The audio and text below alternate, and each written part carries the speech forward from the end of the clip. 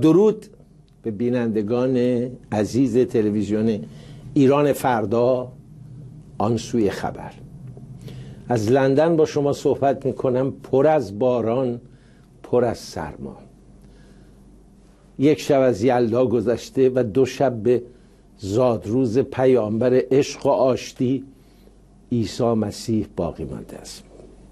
اما آن سو در خانه پدری سردار سلشکر قاسم سلیمانی که در اون لیستی که درست می‌کنن most wanted man یعنی تمام ارگانهای قانونی جهان در پی مردی است که به یک اشاره سفارت منفجر می‌کنه به اشارت دیگر بمب های کنار جاده ای آدم می‌کشد مثل آب خوردن. آقای قاسم خان سلیمانی فرمانده سپاه قدس گفته است که کسی که به آقای سیدلی خامنه ای رهبر جمهوری اسلامی و نایب امام زمان اعتقاد ندارد ملیگرا نیست. آقای خمینی گفته بود که ملیگراها کافرند. جبهه ملی کافر است چون با قصاص مخالف است. حالا معلوم شد نه ملی ها کافر نیستند. اگر به ولایت مطلقه سید علی خامنه ای باور داشته باشند.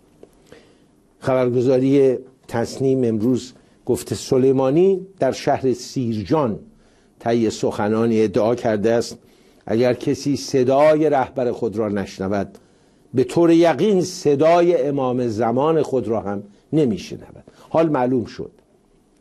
مردم امام زمان خاص خودشون رو دارن. طبیعی است. مسیحیان در انتظار بازگشت مسایا هستند. میترا پیامبر فرزانه قرار است باز آید و سوشیانس قرار است جهان زرتشتی را پر از عدالت کند. امروز خط قرمز باید توجه تمام و اطاعت از ولی خود و رهبری باشد. به گفته آقای سلیمانی امام خامنه ای بدون هوا و هوس با داشتن 95 میلیارد دلار و با تکیه بر اسلام ناب و مردم توانسته دو محور اصلی را یعنی جمهوری اسلامی و ولایت فقیه را با اثبات و ثبات در واقع اداره کند و اقتدار ما را ثابت نماید. جالبه. از آن سو وزارت ارشاد اسلامی که در تصدی آقای علی جنتی است با ارسال نامه به برخی از رسانه های داخلی انتشار مستقل اخبار مربوط به گزارش های آژانس بینالمللی انرژی هسته ای را ممنوع کرده است. در این نامه سازمان انرژی اتمی ایران به عنوان یگان مرجع انتشار اخبار در رابطه با برنامه هستی ایران معرفی شده است. در نامه های وزارت ارشاد به بخش نامه های شورای امنیت ملی استناد شده است. گفته می شود که این دو نامه به صورت محرمانه و با امضای آقای پدرام پاکاین مدیر کل مطبوعات و خبرگزاری های داخلی به دفتر برخی از روزنامه ها و خبرگزاری های داخلی ارسال شده است. در یکی از این نامه ها تاکید شده بود که بر اساس مصوبه شورای عالی امنیت ملی از این پس رسانه های خبری نباید به طور مستقیم خبری را در زمینه انرژی اتمی پخش کنند. یعنی اگر آژانس بینالمللی انرژی اتمی گزارشی منتشر کرد مبنی بر تخلفات جمهوری اسلامی و گمراه کردنهاش هیچ کس حق ندارد این خبرها را منتشر کند. این نامه تاکید کرده رسانه ها نباید ترجمه مستقل از گزارش های آژانس انرژی هستمی در در خصوص فعالیت های ایران منتشر کنند باید ترجمه رو که ما بهشون میدیم بگن. مثل همون ترجمه که از سخنان محمد مرسی در کنفرانس اسلامی تهران شد که وقتی محمد مرسی دخالت های ایران رو محکوم کرد بحرین رو آوردن محکوم کرد. این همون ترجمه. از زمان آغاز کار دولت آقای روحانی که دولت امید و آرزو و آینده و سازندگی و غیره بهش لقب داده بودن و گفته بودن مطبوعات آزاد خواهد بود. همین آقای جنتی گفته بودن قلم ها رو زنجیر رو بعد ازش برداشت. حالا می‌بینیم که وزارت ارشاد شروع به نام فرستادن برای مطبوعات کرد. حرفای آقای علی یونسی وزیر اطلاعات دولت آقای خاتمی و مشاور رئیس جمهوری در امور اقوام و اقلیت های دینی و مذهبی هم جالبه که در طول این چند روزه مرتب ایشون حرفایی زده و محل توجه افکار عمومی بوده. ایشون گفته بود که پستای کلیدی و ارشد مدیریتی کشور در آینده نزدیک به اقلیت های مذهبی واگذار خواهد شد. یونسی که به استان سیستان و بلوچستان سفر کرده جایی که اکثریت مردم اهل تسنن هستند. به خبرگزاری ایرنا گفته که این هم با توجه به انتظار و درخواست بزرگان و معتمدان بلوچ و اهل سنت و مردم بلوچستان صورت می‌گیره به گفته وی در این راستا به زودی بخشی از مدیریت های ملی به اقلیت های قومی و مذهبی کشور و مشخصا بلوچ ها واگذار می شود کردها چه شدن؟ ترکمن ها تالش ها اونا هم اهل سنت. به گفته ایشان در این راستا تلاشهایی خواهد شد و رئیس جمهوری خودش در این زمینه احتمام و توجه ویژه‌ای داره.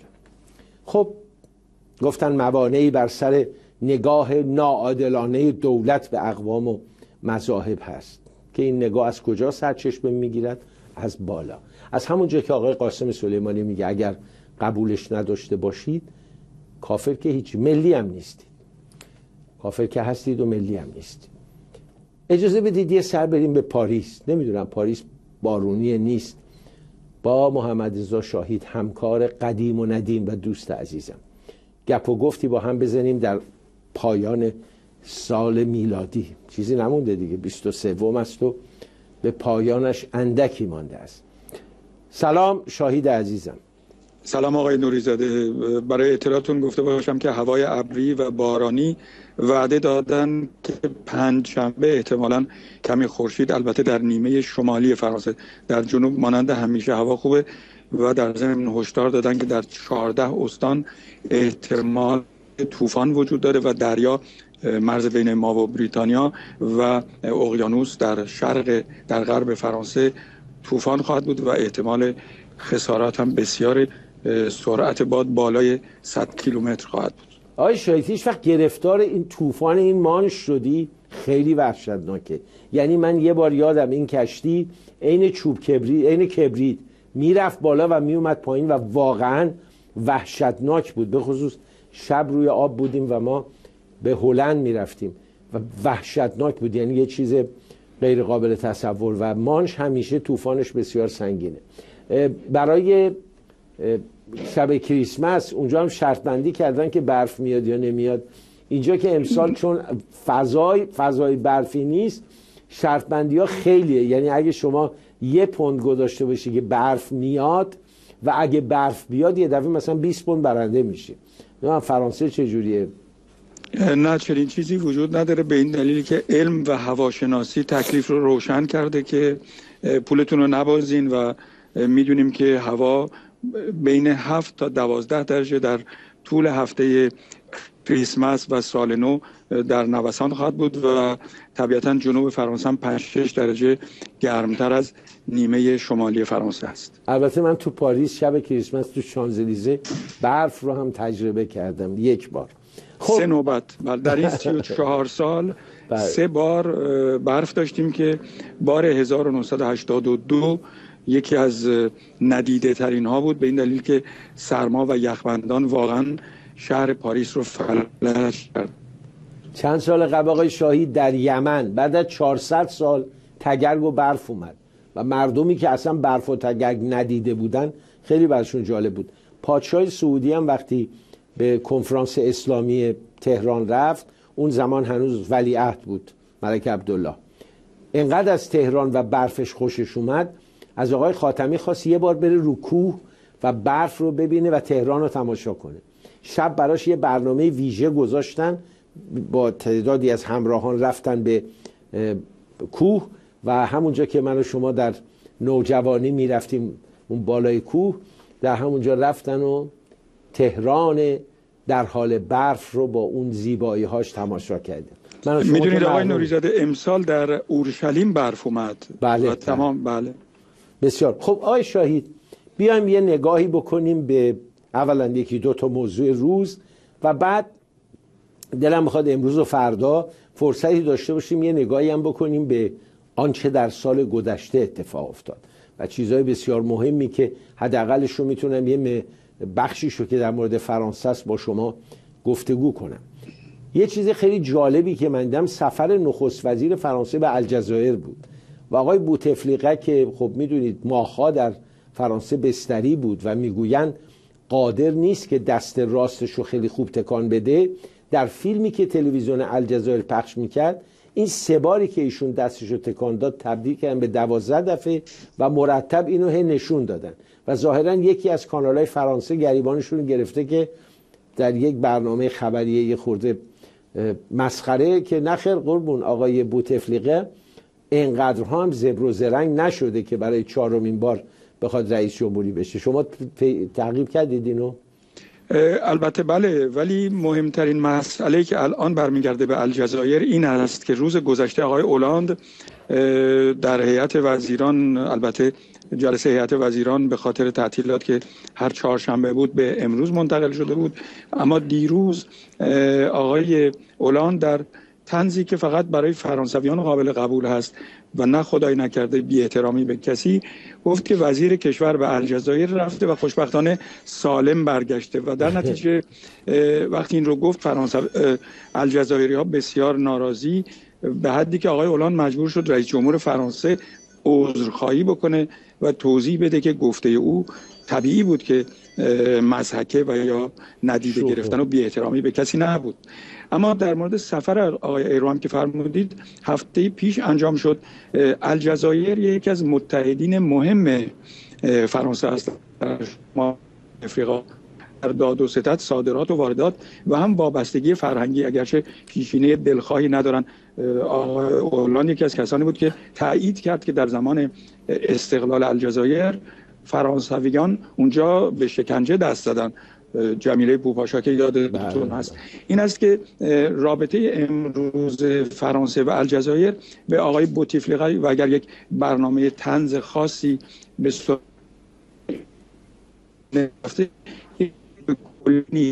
صداتون یکم آقای شاید دوباره این جمله رو تکرار بفرمایید بله. بله این رو خدمتون می‌گفتم که مسئله مهم امروز رابطه فرانسه و الجزایر این پیشداوری به اشتباهی است که برخی از گفته آقای اولاند در مورد این جمله وزیر کشور برداشت کرده بودند که خوشبختانه با عذرخواهی آقای اولاند و نگاه عمیق و منطقی تر و فرهیخته تر به این تنز بدون در واقع بدون نظر. بله. بدون نظر قضیه فیصله پیدا کرد. خب حالا ببینید یک دل مشغولی امروز فرانسه مسئله جمهوری آفریقای وسطا یا آفریقای مرکزی است. و دیدم در اخبار که دولت فرانسه از آلمان هم کمک خواسته. چیه داستان؟ ببینید وقتی که نتایج مذاکراتی رو که در 19 و 20 دسامبر در اتحادیه اروپا در بروکسل انجام دادند. به این نتیجه رسیدم که یا یک کشورهایی به عنوان حضور نظامی خواهد اومد مثل بلژیک که 150 سرباز خواهد فرستاد و کشورهای دیگر و یا اینکه دست کم کمک های مالی خواهند کرد. چرا آلمان این کار رو خواهد کرد؟ خانم مرکل گفته به این دلیل که در مورد مالی دیدن که حاصل کار بسیار مثبت و موفقیت آمیز بوده. و امروز فرانسه مایل نیست بگوید که یک کتاز حضور در افریقای مرکزی است. به خصوص که می‌دونید امنیت اگر در افریقای مرکزی نباشه در منطقه نخواهد بود و اگر در منطقه نباشه بقیه نقاط دنیا رو به هم خواهد زد. در نتیجه کمک هایی که امروز زمزمه میشه و قطعی هم هست این هست که کشورهای اروپایی در مورد افریقای مرکزی یا حضور نظامی یا حضور مالی کمک بکنن که هر چه زودتر این ملت گرفتار فقر و گرفتار دیکتاتوری به یک حداقل آزادی برسن. می‌دونید در پرتو نظام جدید جهانی خیلی از کشورهای آفریقایی از شر دیکتاتورها نجات پیدا کرده. آدم یه زنجیره رو نگاه می‌کنه از نگاه می‌کنه از لایبریا سیرالئون بورکینافاسو بنین غنا و گینه در اون قسمت و در این قسمت نگاه می‌کنه که سودان دو قسمت شد جنوب به مسیحی ها ولی الان می‌بینه بین خود مسیحی ها درگیری شده. دو قبیله رئیس جمهوری آقای سالواکر و معاون سابقش درگیر شدن و الان باز جنگ داخلی. متاسفانه آفریقا این ریشه ها یا بذرهایی رو که سالهای استعماری کاشته. و این آدم هایی که یه عده ادعای رهبری مبارزات استقلال طلبانه رو داشتن. آمدن و این کشورها رو واقعا به معنای این کلمه انگلیسی رویند. یعنی داغونشون کردن. از تمام نعمات اینا رو بیبهره ساختن. نگاه کنیم در زیمبابوه چه خبری شده و وضع اقتصادی چطوری تازه زیر فشار اپوزیسیون جامعه بینالمللی آقای موگابه مجبور شد شراکت بکنه حکومت رو با رهبر مخالفان. یا در جاهای دیگه آفریقای مرکزی هم یه دوران نسبتا کوتاه آرامش داشته. بعد در پرتو مسائبی که در کنگو یا بروندو و رواندا اتفاق افتاده این مسائب به اونجا منتقل شده و بعد دچار جنگ داخلی. ولی به قول شما تجربه مالی خیلی خوب بود. برای اینکه اون مجموعه اسلامی ها با استفاده از قبایل توارق آمدن و مالی رو به اون روز وحشتناک انداخت الان نیجریه کشوری که می‌تونه خوشبختترین باشه با نفت بسیاری که داره معادنی که داره حالا دچار بوکو حرام شده. دچار وابستگان جمهوری اسلامی از یه طرف و سلفی ها از یه طرف دیگه شده. امیدوارم در آفریقای مرکزی واقعا فرانسه بتونه یک اقدام مثبت بکنه. شما خودتون امیدوارید به این مسئله؟ امیدواری که باید جزو لزومات به این دلیل که وگرنه باید از هیچ نوع فعالیتی انجام نداد و چشم پوشی کرد. اما در عین این امیدواری البته امیدواری فردی من نیست بلکه بستگی مستقیم داره به شنیده ها و دیده ها دیروز نزدیک به چندین هزار نفر مسلمان در افریقای مرکزی تظاهرات کردند و فهاشی و توهین به رئیس جمهور فرانسه که آقای اولاند جنایتکار فرانسه بیرون بره. چرا؟ به دلیل اینکه سه مسلمان مسلح تکرار می‌کنم سه مسلمان مسلح در درگیری با ارتش فرانسه جان باختن و اینها دیروز تظاهراتی داشتن که فرانسه باید از اینجا بره بیرون. می‌دونید نفوذ یکی دو کشور کشورهای اسلامی و جدا اندازی و فاصله انداختن بین مسیحیان و مسلمان ها تا همین اواخر بالا گرفته بود. و جالب بینه که همین امروز در بانگی رهبران مسیحی و مسلمان علنا در برابر دوربین های رسانه نشستند و گفتند که هیچ اختلافی ندارن. اما در فاصله دوربین و دهگده ها و فخر فراگیر در این منطقه می‌دونید که کار آسون نیست. برای همین امیدواری هم چندان آسون و قابل دسترس نیست. آقای شاهید خیلی هم وقتونو گرفتم. یک سوال دیگه که دارم. این تغییری که در فرانسه شد رفتن سرکوزی آمدن آقای هلند چهره های تازه وارد میدان شدن چه تأثیری در فرانسه داشته؟ از نظر زندگی مردم آدم متوسط توی خیابون از نظر روحیه فرانسوی ها آیا ما شاهد خوشبینی هستیم به آینده یا دوباره مردم بعد از انتخابات پشیمان شدن چیه داستان این ناراضی بودن در فرانسوی ها یک ریشه تاریخی داره می‌دونید وقتی حتی آقای میتران که با رکورد شکنی رئیس جمهور شد دو سال بعد دو نوبت بله. بله. میگم دو نوبت دو تا هفت سال بله. دو, دو سال بعد در اولین دوره ریاست جمهوری آقای میتران مردم به او رأی ندادن و در نتیجه آقای شیراک رئیس جمهور شد. بعد دوباره بار دوم آقای بلدور نخست وزیر شد. بعد دوباره وقتی قرار شد رأی بدن باز مردم به آقای میتران رأی دادن. بعد به آقای شیراک رأی دادن ولی دوباره رأی به مخالفت مخالفین او دادن به آقای جوسپن نخست وزیر شد. در نتیجه فرانسویان معمولا روحیه تحمل ندارن و قانع نیستن. اضافه خواهی اونها هم حتما پوان منفی نیست. برای همین هم هست که آزادی بیشتر همیشه از سوی مردم طلب شده و احتمالا خیلی هم به جامعه ظلم نشده. امروز وضعیت مردم فرانسه می‌دونید که بحران بین المللی است. یعنی مسئله صرفه‌جویی در بودجه ها مسئله کمبودها یک مسئله وسیعی است. حقوق بازنشستگان وضعیت دانشجویان وضعیت کارمندان دولتی و غیر دولتی وضعیت مطلوب فرانسویان نیست. و در نتیجه نمی شود گفت با رفتن آقای سرکوزی و یا با آقای آمدن اولان وضع بدتر شده و بدتر خواهد شد. وضع چنین بوده و چنان خواهد بود. اما اینکه آقای اولان چقدر می‌تونه از پس مشکلات بر بیاد خوشبینی ها چندان نیست. گرچه اگر آقای سرکوزی هم بود این اختلاف تغییر وضع دادن نمی‌تونست با شخصیت فرد یک چیز عجیب و غریب و به قول بعضی ها معجزه تبدیل بشه بلکه می‌تونست چند درصدی در چند مورد بالا و پایین بشه. امتیازی رو که امروز با آقای اولاند میدن که در واقع با آقای سرکوزی هم می‌شود داد و در واقع آقای سرکوزی هم موفق بود. سیاست خارجی فرانسه است. یعنی دوباره فرانسه در هیته بین نقش مهم و قابل احترامی پیدا کرده که در زمانی این به حداقل رسیده بود. اما چون الان ایام کریسمس هست و ایام شادی به حال دلها به سوی شاد بودن رفته و میتپه. ما حدس می‌زنید که وضعیت به هر حال دلخواه همگان نیست. شاید عزیزم خیلی ممنونم ازت. نوتا اجازه بده اینو اضافه کنم. در کنار شاهید یک همکار قدیم و ندیم قدیم یعنی یکی از معلمان ما هست. انسانی که هم در عرصه روزنامه نگاری آدم بسیار موفقی بوده کسی که دادگاه زنده دکتر مصدق رو داشت گزارش می‌کرد و همینطور در زمینه دیپلماسی دیپلمات شد. رفت در وزارت خارجه تا مقام سفارت بالا رفت. سرکنسول بود در همین فرانسه. انسان نازنین به نام ناصر امینی که حاصل تجربه هم در چند کتاب گذاشته و بسیار هم کتاب های خواندنی و مطالب جالبی است. خیلی خوشحالم که ناصر امینی هم اونجاست. به من سلام بکنم. کنارشون نشسته بودم. خیلی ممنونم. شاهید عزیزم درود منو به ناصر امینی عزیز برسون و به خدا می سپارمت سپاسگزارم و امیدوارم فردا باز فرصت گفتگویی با هم داشته باشیم. متشکرم. خب حالا اجازه بدید که ما برای در واقع به خاطر که برنامه رو داریم خیلی سریع زنده تو این روزا اجرا می‌کنیم یک گزارش خواهیم داشت و باز میگردیم و خبر رو ادامه خواهیم داد.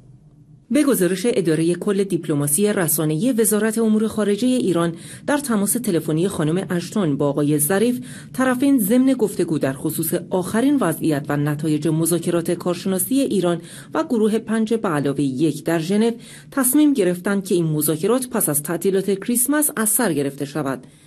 وزارت امور خارجه ایران در حالی از ادامه مذاکرات پس از تعطیلات کریسمس خبر داده که روز شنبه عباس عراقچی معاون وزیر امور خارجه ایران در خصوص مذاکرات کارشناسی میان ایران و گروه پنج به علاوه یک در ژنو گفته بود پیشرفت در این مذاکرات اندک بوده است.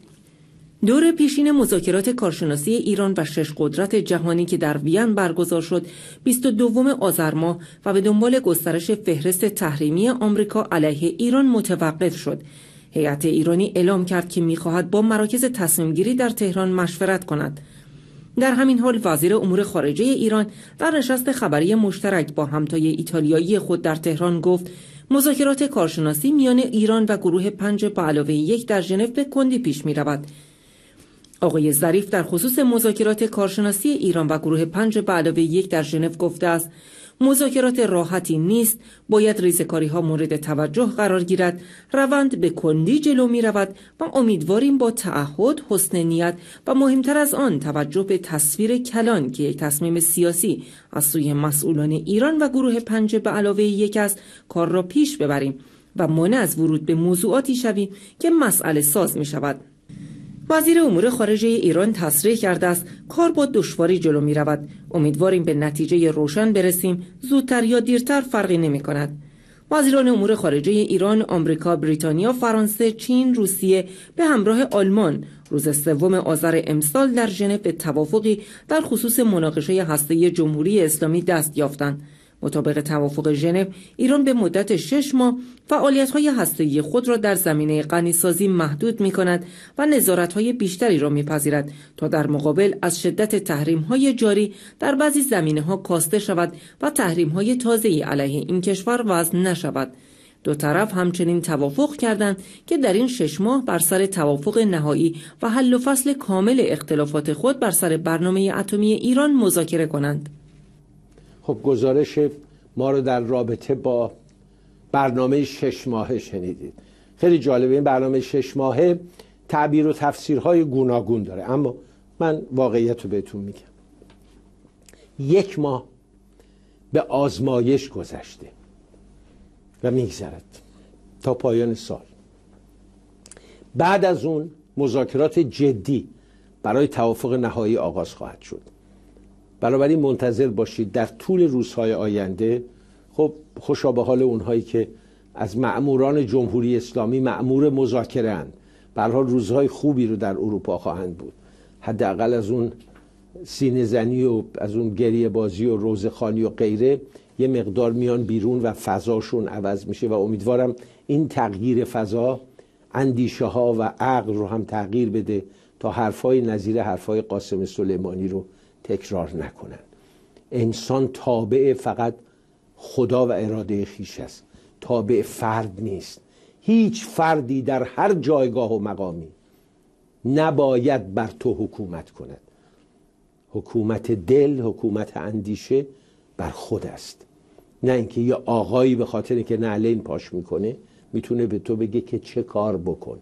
دنیا و آخرت تو رو براش تصمیم بگیره آقای محمود واعظی کسی که در وزارت امور خارجه بود و شعن و جایگاهی داشت حالا وزیر ارتباطات هست. در گفتگوی بیپروا و سریح و بیپرده با کاربران شبکه های اجتماعی داخلی درباره تأثیر پارازیت بر سلامت اونا گفته گزارشی به رئیس جمهور دادم و ایشان به طور جدی دنبال است که اگر موردی علیه سلامت مردم باشد شخصا وارد خواهد شد. اصر ایران به نقل از خبرگزاری فارس گفته وعده قرار اینترنتی وزیر ارتباطات و فناوری اطلاعات با کاربران در شبکه های اجتماعی دو هفته یک بار شد. حضور واعظی بین کاربران اینترنت به نوعی به محلی برای پرسش و پاسخ مستقیم تبدیل شد. شیوه خوبی است. امیدوارم ادامه داشته باشه و کارساز هم باشه. وزارت خارجه هم که عرض کردم گفته که خانم کاترین اشتون آقای ظریف مسئول سیاست خارج اروپا با هم توافق کردن تا مذاکرات کارشناسیشون رو بعد از تعطیلات کریسمس از سر بگیرن. یعنی به هر حال بعد از تعطیلات کریسمس دو روزه بعدش گفتگو آغاز خواهد شد. وزیر گارد ملی عربستان سعودی.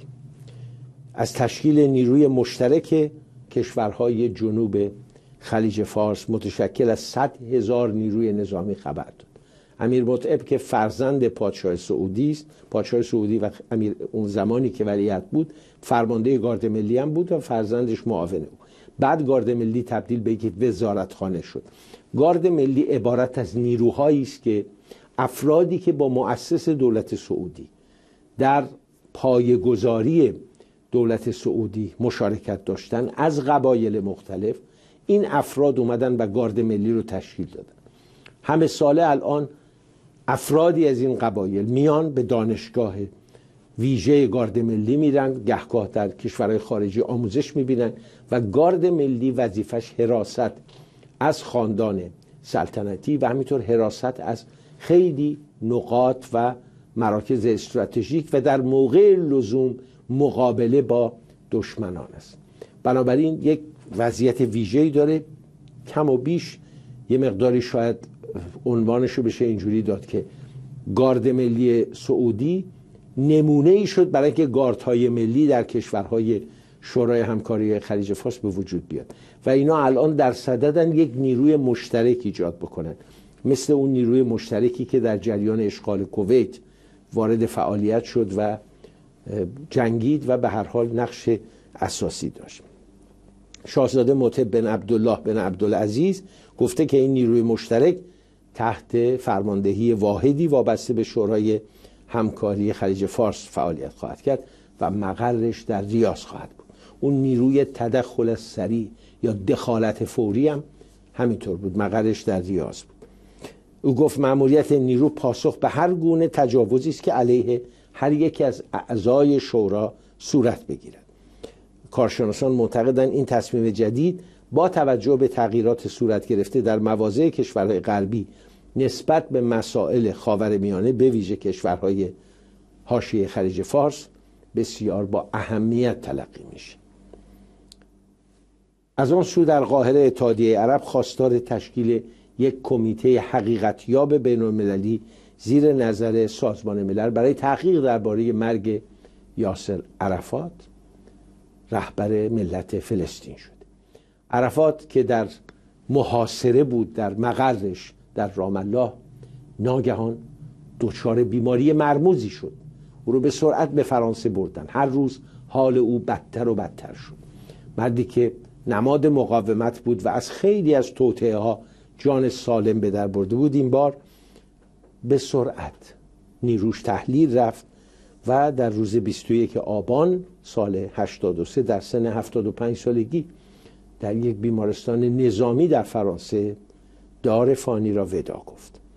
پزشکان اول گفتن علت مرگ او سکته مغزی بوده. اما مدتی بعد برخی رسانه ها گزارش دادن که مسمومیت او که مرگ او ناشی از مسمومیت رادیواکتیو بوده و اسرائیل رو متهم کردند یک آزمایشگاه سوئیسی هم سال گذشته گفت مقدار زیادی رادیواکتیو از بقایای جسد عرفات به دست آورد. رویتر گزارشی داده که میکی روزنفلد سخنگوی پلیس اسرائیل گفته که بمبی که در یک اتوبوس در نزدیکی اسرائیل کار گذاشته شده بود خوشبختانه به تلفاتی منجر نشده و گفته که راننده اتوبوس متوجه یک شیء مشکوک در اتوبوس شد و پیش از آن که بمب منفجر شود مسافران را پیاده کرد. روزنفلد گروه های فلسطینی را مسئول این انفجار دانست. در همین حال برخی از رسانه های اسرائیلی از زخمی شدن تعدادی از شهروندان اسرائیلی در این انفجار خبر دادند. در حالی که هیچ گروهی هنوز مسئولیت انفجار تلاویو را به عهده نگرفته آقای فوزی برهم سخنگوی جنبش حماس این انفجار را اقدامی قهرمانانه خوانده است. انفجار یک اتوبوس با مردم بیگناهی که غیر نظامی و هیچگاه نباید هدف عملیات نظامی قرار بگیرند رئیس جمهوری آمریکا آقای باراک حسین اوباما در جریان یک کنفرانس خبری گفت اگرچه دولت او همچنان نسبت به نیازهای امنیتی آمریکا هوشیار است اما جنگ افغانستان در سال 2014 میلادی پایان خواهد یافت. ایشون همین کار رو در مورد عراق کرد نیروها رو بیرون برد بدون اینکه عراقی ها آمادگی مقابله با تروریست ها آمادگی مقابله با گروه های مسلح رو داشته باشند و عملا عراق رو در اختیار جمهوری اسلامی گذاشت.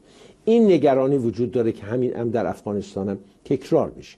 به همین دلیل لوی جرگه اصرار کرد که قبل از سال نو باید قرارداد امنیتی آمریکا و افغانستان به امضا برسه. آقای کرزا شروع کرد ایراد گرفتن. علاقه من بود از آمریکایی‌ها زمانت بگیره برای پیروزی برادرش به عنوان رئیس جمهوری چون خودش مطابق قانون اساسی نمی‌تونه دوباره رئیس جمهوری بشه. آمریکا این باج رو نداد. آقای کرزای به تهران رفت و گفته شد در اونجا مقدمات یک قرارداد گسترده رو با ایران داره تدارک می‌بینه. رئیس جمهوری که بیش از چند ماه به مدت معمولیتش باقی نمونده چگونه می‌تونه چنین پیمانی رو با جمهوری اسلامی ببنده؟ در این میان وزیر دفاع آلمان آقای فوندر لاین به افغانستان رفت. پنج روز بعد از تصدی وزارت دفاع آلمان و در زمانی که مقام های افغان و ناتو در حال رایزنی به منظور تعیین چارچوبی برای همکاری های بعد از تخلیه افغانستان هستند. این دومین سفر وزیر دفاع آلمان به افغانستان طی ده روز گذشته است. قبلا هم وزیر دفاع سابق به افغانستان سفر کرد بود. آلمانیا 3400 سرباز در افغانستان داره بله پس از آن که کاظم جلالی رئیس کمیته روابط پارلمانی با اروپا در مجلس شورای اسلامی گفت که دیدار هیئت پارلمانی با خانم نسرین ستوده و آقای جعفر پناهی بدون اجازه یعنی قبلا می‌گفتن بدون اجازه بود که با موافقت آقای رئیس مجلس علی لاریجانی صورت گرفت. معاون بین‌المللی گفته آقای ببخشید با موافقت محمد جواد لاریجانی مشاور قوه قضایی صورت گرفته. البته آقای علی لاریجانی هم مخالفتی نداشته. اما آقای لاریجانی ضمن تکذیب این موضوع اظهارات جلالی را شتاب زده خواند. مفهوم شتاب زده در فقه اللغه جمهوری اسلامی یعنی اینکه آقا چرا قبلا به من نگفتی که جملات رو خودمون انتخاب بکنیم. محمد جواد لاریجانی همچنین از دیدار خانم ستوده و آقای پناهی با هیئت اروپایی انتقاد کرد و آن را توهین به جمهوری اسلامی دانست. جمعه 24 آذر این ملاقات در سفارت یونان انجام گرفت. و حقوقدان مبارز ایرانی در کنار هنرمند برجسته سینما موفق شدن ساعاتی با نمایندگان پارلمان اروپا گفتگو کنند و خانم ستوده کار دستی رو که خود درست کرده بود به نمایندگان پارلمان اروپا داد. به پایان آمد این دفتر حکایت همچنان باقی است. با گزارشی که پیرامون اون صحبت کردم برنامه آن سوی خبر رو به پایان می‌برم و توجه شما رو به گزارش و پس از آن بررسی مطبوعات جلب می‌کنم. بدرود. کازم جلالی رئیس کمیته روابط پارلمان اروپا با مجلس شورای اسلامی می‌گوید دیدار هیئت این پارلمان با نصر ستوده و جعفر پناهی با موافقت محمد جواد لاریجانی معاون بین الملل قوه قضایی انجام شد. کازم جلالی که در جلسه علنی مجلس به سوالهای خبرنگاران اصولگرا در مورد دیدار هیئت پارلمانی اروپا با نسرین ستوده وکیل مدافع حقوق بشر و جعفر پناهی فیلمساز ایرانی و برندگان جایزه ساخاروف پاسخ می‌داد گفت مجلس با این دیدار مخالف بوده اما محمد جواد لاریجانی دبیر ستاد حقوق بشر قوه قضایی استدلال کرده است. این افراد دوره محکومیتشان را گذراندند و نظام دلیلی ندارد که مانع دیدار آنها با اروپایی ها شود. از سوی دیگر محمد جواد لاریجانی توضیحات کازم جلالی را شتاب زدگی خوان و به خبرگزاری های ایران گفته است. طبعا در یک چنین مواردی جلسات مشورتی مختلفی در دستگاه های زیرب تشکیل می شود که همگی آنها مشورت های داخل نظام محسوب می شوند اما نهایتا مسئولان مجلس تصمیم می گیرند. وی ادامه داده است. البته هیچ کس در این مملکت موافق رفتار این هیئت در ملاقات با این افراد و اعطای جایزه به آنها نبوده است. زیرا اولا تقاضای ملاقات با افرادی که سابقه محکومیت دارند یا به نوعی در حال گذراندن محکومیت هستند نیازمند هماهنگی های قضایی است و باز همه آنها نیازمند هماهنگی های امنیتی است. ثانیا جایزه دادن به محکومین فتنه همانطور که اشاره شد اصلا یک توهین سیاسی است. سالسا همه این امور مراحل تشریفاتی خاص خود را دارد.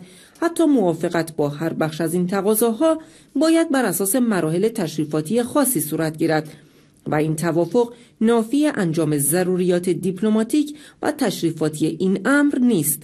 همانطور که رئیس محترم مجلس شورای اسلامی هم اشاره کردند اینها باید تقاضای خود را رسما اعلام می کردند تا مجلس می توانست تصمیم مناسب بگیرد و به هر نوعی که می‌خواست عمل کند. بحث اصلی در نحوه رفتار این مهمانان کم تمدن ما بوده است. در ادامه این اعتراض ها علی لاریجانی رئیس مجلس ایران نیز دیدار هیئت پارلمانی اروپا با نسرین ستوده و جعفر پناهی را سخیف و دزدانه توصیف کرد. به گزارش خبرگزاری فارس آقای لاریجانی در صحن علنی مجلس گفت برخلاف برخی گزارش ها این هیئت هیچ پیش شرطی برای سفر به ایران نداشت. آنگونه که رئیس مجلس گفته است مقام های ایرانی از جزئیات برنامه های هیئت پارلمانی اتحادیه اروپا اطلاع نداشتند. اعتراض این مقامات ایران در حالی است که در همین راستا وزارت امور خارجه دولت حسن روحانی نیز با احضار کاردار یونان در ایران نسبت به دیدار هیئت اروپایی با نسرین ستوده و جعفر پناهی در سفارتخانه این کشور در تهران اعتراض کرد. اداره کل اطلاعات و مطبوعات وزارت امور خارجه روز یکشنبه اول دی با اعلام این خبر و بی آنکه به نام ستوده و پناهی اشاره کند آنها را محکومین حوادث 88 معرفی کرده است. این روابط عمومی گزارش کرده بود این دیدار مقایر با حسن نیت و برخلاف تذکرات قبلی ارائه شده از سوی سفارت ایران در بروکسل و همچنین مسئولین وزارت امور خارجه صورت گرفته است.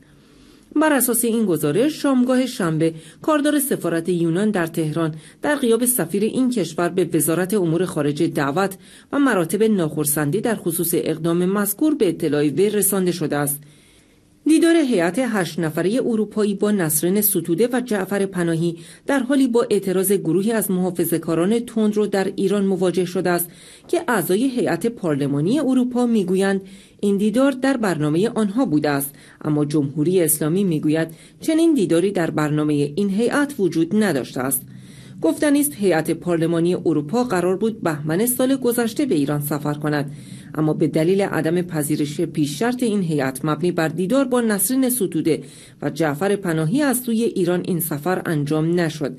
در سفر اخیر این هیئت روز جمعه 22 آذر در اولین روز ورود خود با نسرین ستوده فعال حقوق بشر و جعفر پناهی کارگردان سینمای ایران در سفارت یونان دیدار کرد.